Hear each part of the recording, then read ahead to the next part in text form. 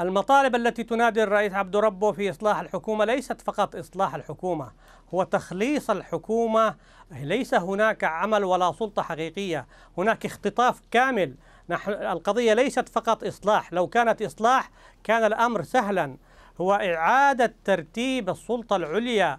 وإعادة انتزاع القرار من جماعة الإخوان العسكري والسياسي بأسرع وقت ممكن.